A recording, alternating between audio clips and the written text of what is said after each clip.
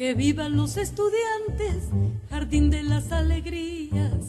Son aves que no se asustan, ni animal ni policía.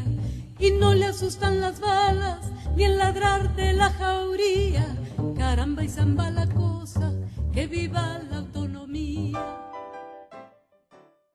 La historia del movimiento estudiantil en El Salvador tuvo sus inicios en la fundación de la Universidad de El Salvador en 1841, como única universidad pública en el país. La visión de la UES durante su fundación decía que el rol del estudiante universitario era de transformar la educación superior y de llevar a cabo una transformación de la conciencia crítica para el desarrollo de la sociedad salvadoreña. Realizando su rol como vehículo para el cambio social, la UES fue la semilla para la actividad revolucionaria que iniciaron en 1927 algunos estudiantes universitarios inspirados por hechos como la Revolución Bolchevique de octubre de 1917 y por la represión y explotación por parte de la dinastía Meléndez Quiñones.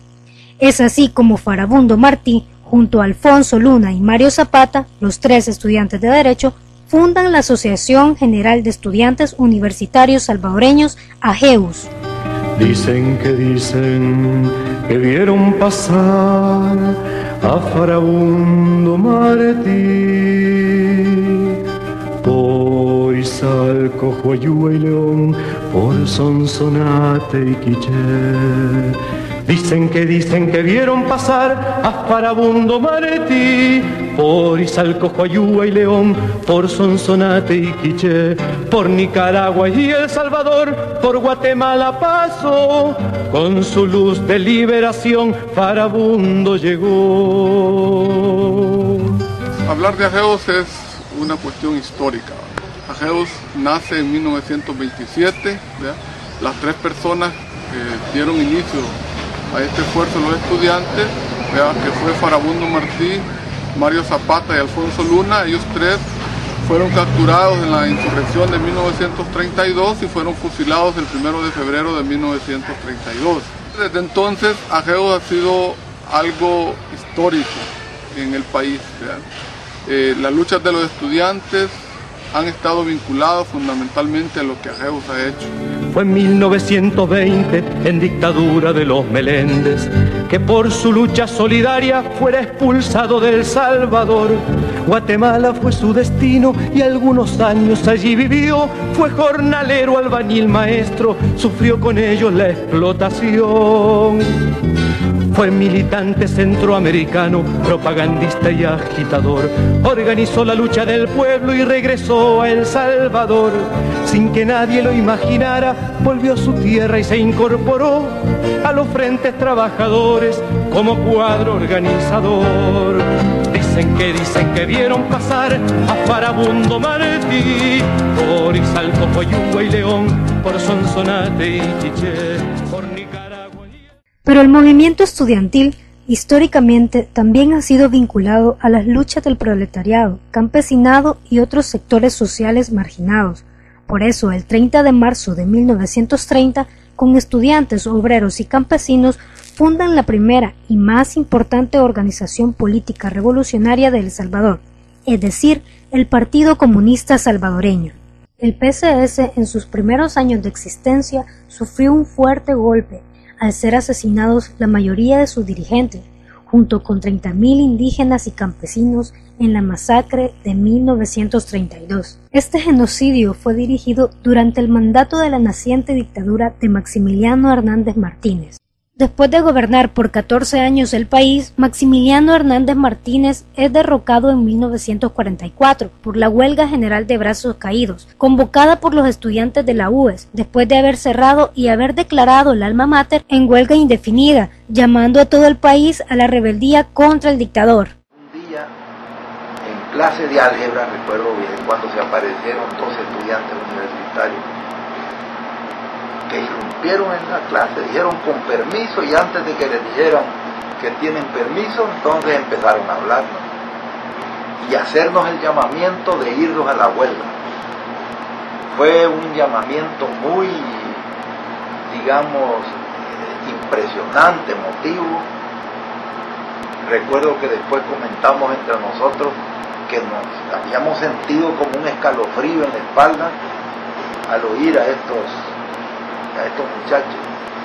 Sus últimas palabras fueran, esta es una lucha que terminará cuando caiga el tirano.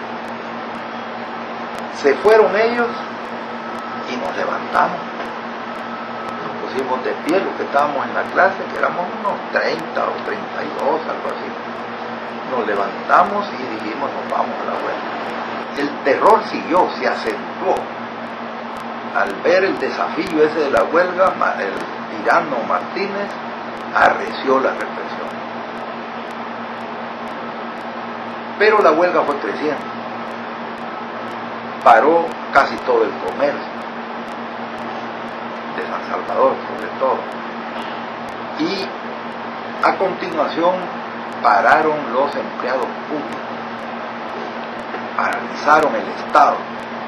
Esa fue, digamos, el golpe ya de gracia para la dictadura. Entonces Martínez renunció y se fue. Renunció el 8 de mayo y se fue del país el 9 de mayo. Después de cinco meses del derrocamiento de Martínez, un grupo de militares y oligarcas se tomaron el poder del país a través de un golpe de Estado. Nuevamente, un grupo de estudiantes se alzaron en armas en Aguachapán sin tener éxito. Los gobiernos militares se prolongaron en lo que quedó de la década de los 40. En la década de los años 50, un nuevo grupo de estudiantes se pronuncia llevando como principal bandera de lucha la reforma universitaria, exigiendo autonomía para el alma mater. Nosotros decidimos en, la asociación eh, levantar la bandera como, como entrada al proceso de lucha por la reforma universitaria, la bandera de que no se religieran las autoridades porque si se redigían las autoridades iba a quedar de nuevo cerrada la posibilidad de la reforma universitaria como había quedado cerrada el año 48. Entonces, para impulsar la reforma universitaria era clave cambio de autoridades. Y como eso era lo que venía, esa es la bandera que levantamos. Bueno, y en eso logramos convencer a todas las asociaciones estudiantiles, a la EUS en primer lugar. Y eso fue el inicio de un movimiento que se convirtió en huelga y duró nueve meses. Como cuestión inicial, planteamos el tema de convertir la autonomía de la universidad en principio constitucional, en norma constitucional.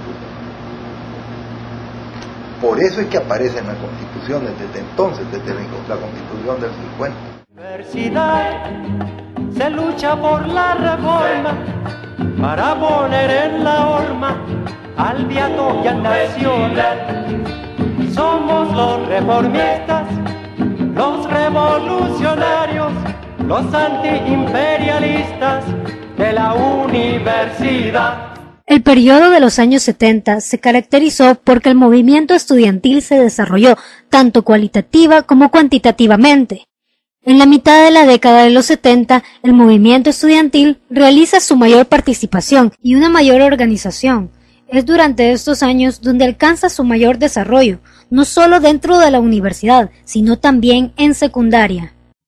En 1975, los estudiantes recibieron otro duro golpe, considerado como la máxima expresión represiva contra el movimiento estudiantil, realizado el 30 de julio, cuando una movilización estudiantil pacífica fue masacrada a la altura del paso de dos niveles frente al Instituto Salvadoreño del Seguro Social, dando como resultado unos 26 estudiantes muertos, decenas de heridos y desaparecidos. A pesar de esta brutal masacre, el movimiento estudiantil no se logró desarticular. En la década de los 70 surgieron diferentes frentes de masas que respondían a organizaciones político-militares y en cada uno de estos frentes existían organizaciones estudiantiles que luchaban junto a trabajadores y campesinos por transformar la sociedad. En la UDN, Acción de Estudiantes de Secundaria AES. Frente de Acción Universitaria FAO. En el BPR, el Movimiento de Estudiantes Revolucionarios de Secundaria MERS. Universitarios Revolucionarios 19 de julio UR19 y la Fuerza Universitaria Revolucionaria 30 de julio FUR 30. En el FAPU, el Frente Universitario Estudiantil Revolucionario Salvadoreño Salvador Allende Fuerza y la Asociación Revolucionaria de Estudiantes de Secundaria ARDES. En el MLP, Brigada Revolucionaria de Estudiantes de Secundaria BRES y en las LP28 Ligas Populares de Secundaria LPS.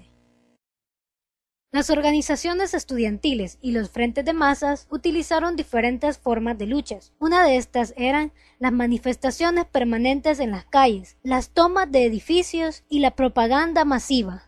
Para 1980 la situación de El Salvador era crítica. En este año, el 26 de junio, la universidad es intervenida militarmente, dejando como saldo 30 estudiantes muertos y mandando a la UES al exilio.